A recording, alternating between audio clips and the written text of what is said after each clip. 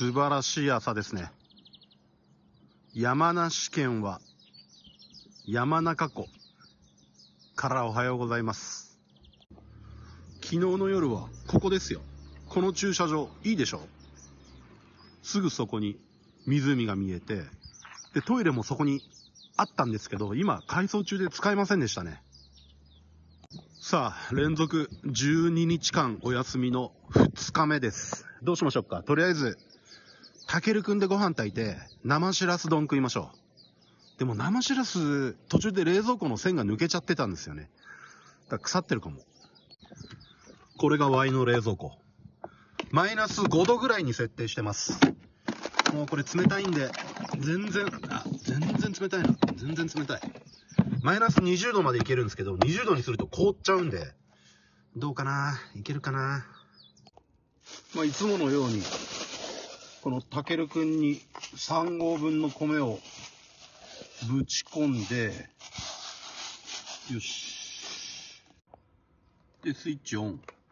よし。で、だいたい30分です。30分で炊けたら10分蒸らし。蒸らしはね、ほんとマジ大事ですよ。蒸らした方がいい。これなんかちょっと汁が出ちゃってんですよね。ものすごい生臭いんですよ。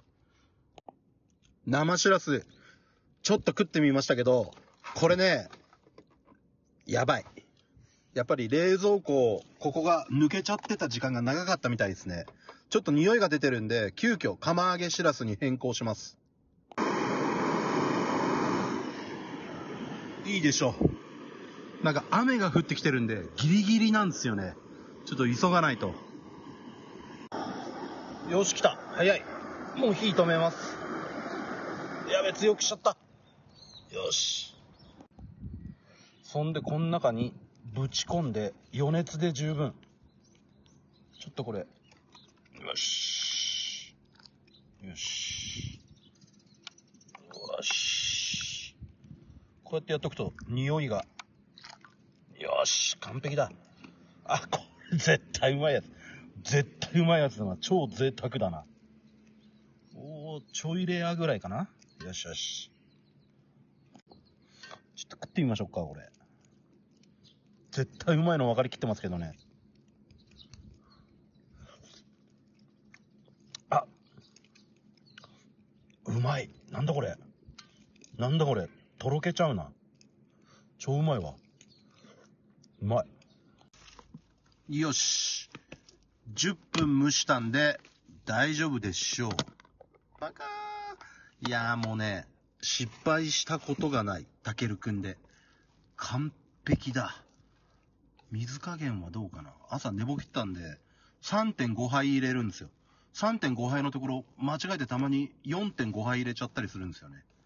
ほいほいほい。どや、どやどやあ、完璧だ。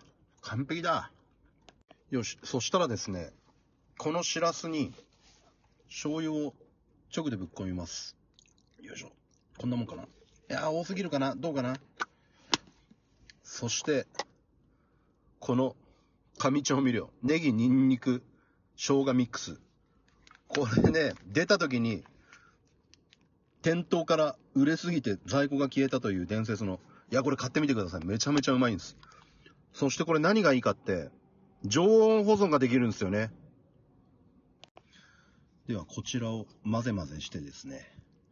あ、ニンニク多かったかな。